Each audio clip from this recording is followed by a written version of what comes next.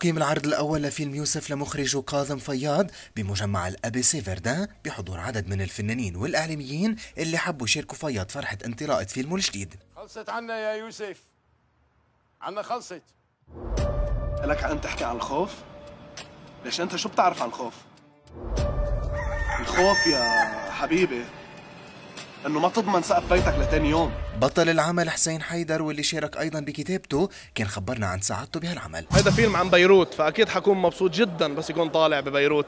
آه، نحن محمسين آه، مبسوطين لأنه الناس بلشت تشوف هذا الفيلم اللي بيحكي عنا آه، اللي بينقل وجعها واللي بيعطيها أمل. هيدا الفيلم تصور من قبل ورحتوا فيه على هوليوود. قد إيه رح يعطيكم هيدا مثل مسؤولية أكثر لبعدين؟ آه نحن على سيرة المسؤولية في شيء أهم من المسؤولية اللي هو الشغل. الشغل بخليك توصل ويصير عندك مسؤوليات أكثر مثل ما أنت حكيت. نحن اوريدي عم نشتغل على فيلم ثاني وإن شاء الله حنوصل فيه للعالمية مرة ثانية ورح نحقق أكثر من اللي حققناه هالمرة.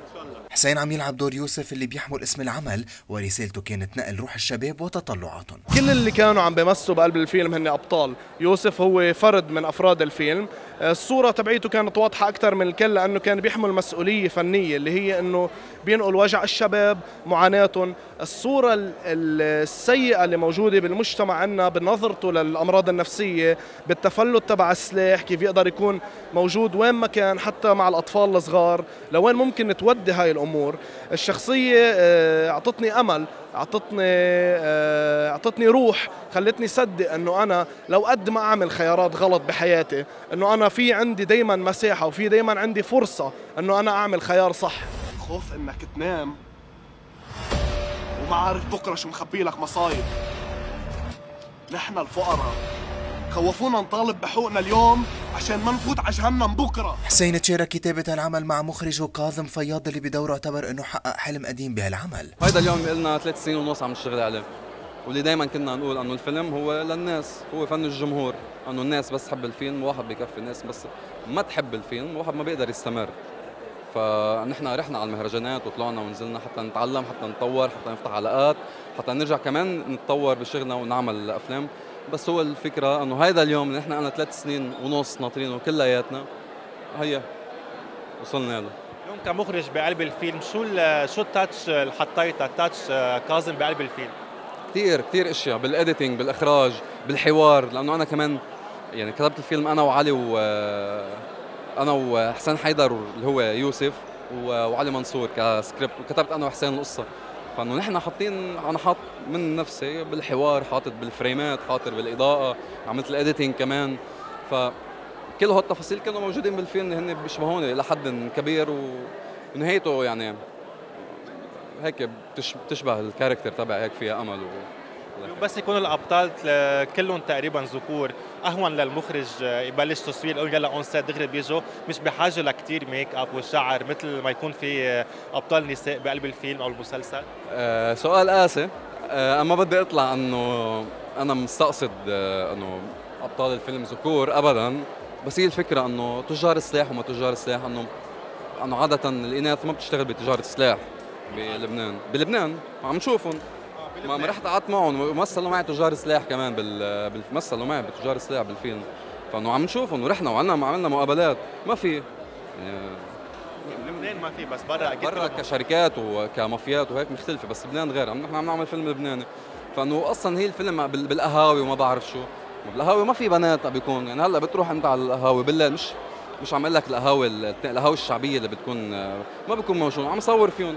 يعني مش منطقي أنا أجيب character هيك. فإنه أكيد أسهل أنت تشتغل آه، ك make up مع مع شاب. بس هي الفكرة أصلا كمان أنت بالفيلم عم تحكي عم بحكي هلأ برا الفيلم لأنه الشاب ما بيحط make up صح؟ يعني تقريبا يعني شوي أوقات منهم شوي. بس بالفيلم لا يعني الموضوع يمكن نفس الشيء تقريبا انه ما لازم يعني الوحدة لازم تكون على طبيعتها حسب المشهد كمان بتصير. يعني حتى كل الشباب بأوقات بنحط لهم فونديشن حط كرمال العرق كذا إلى آخره. بس مش للتجميل يعني إلا إذا المشهد بده تجميل.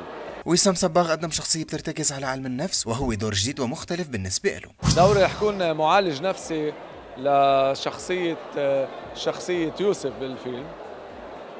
أه، حدا عم بيحاول بعلمه وبال background اللي له علاقة بعلم النفس إنه يساعد الشخصيه لتبقى مستمرة وما توصل لمطرح هيك تتأزم أكثر لاحظنا من خلال البوستر يمكن أنت الوحيد اللي لابس هيك شميز ودورك جدي بصورتك جدية عن كلهم جديين. كلهم. جديين واحد حامل سلاح وواحد حاطط طاقية وواحد أنت الوحيد لابس شميز قصدك أنا مسالم يعني. مسالم أكثر واحد. إيه لأنه معالج نفسي يعني ما في إلا ما يكون هيك. وهو الشخصية اللي بتكمل تقريبا الخلطة والحبكة اللي عم بتدور حول الفيلم. محمد فعاني شارك بالتمثيل وقدم شخصية مساندة للبطل بشكل كبير. أول شيء دوري أنا آه، شخص اسمه الألماني. آه، حدا بيعيش صراع ما بين الخير والشر وبنشوف بالاخير وين وين بصب يعني فينا نقول بيعيش مع البطل بكل مراحل تغيراته الجذرية والأساسية بالفيلم. آه، شخص بيشبه كثير آه، أشخاص كثير بالمجتمع اللبناني وبالشباب اللبناني. هذا الفيلم كثير بيعني لنا لأنه تجربة شبابية. انطلقنا منها وكانت مغامرة وإن شاء الله هاي المغامرة تكون نهايتها حلوة والعالم تحب الموفي وتنبسط وتستمتع لأنه بحس إنه كثير بيشبه الواقع اللبناني وبيعكس وجع الشباب اللبناني بهذا الواقع المرير اللي عم بيعيشوا يعني.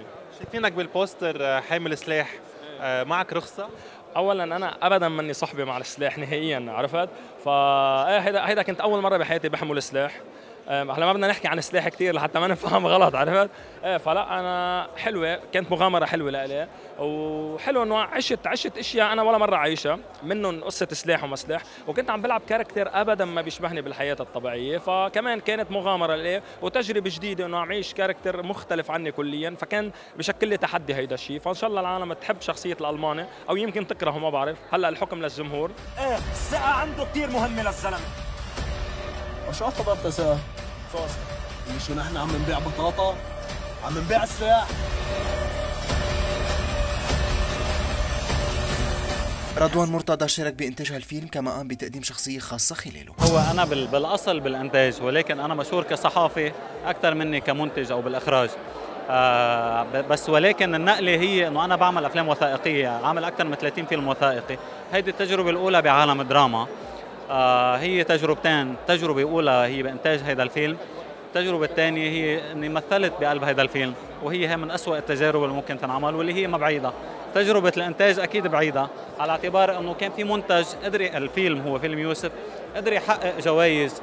يعني في عدة جوائز بين جنيف أمريكا بنيويورك الإسكندرية بمصر بنغلاديش وهيدا الانتشار. ف على أمل إنه يكون هذا الفيلم هو ركيزة يبنى عليها لإنتاج أفلام ثانية ليش ما حبيت التجربه التمثيلية تبعك.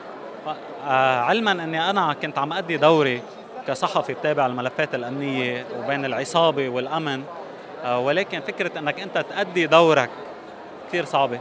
لقيت إنه لأ مع إني أنا بعمل هيدي القصص يوميا بشكل يومي تلقائي ولكن إني أجي مثلها وأديها بهذه الطريقة لقيتها صعبة. هلأ بتشوف المشاهدين إذا هن ما حبوا مثل ما أنا. ويقولوا لي رأيهم. يوسف عمل سينمائي عم بيتم عرضه بالصالات اللبنانية بعد ما حصد عدة جوائز دولية على أمل تكون نسبة مشاهدته وتشجيعه بالقدر المطلوب. بتحس الطقس بلبنان عنده انفصام؟ مش بس الطقس منفصم كلنا هيك.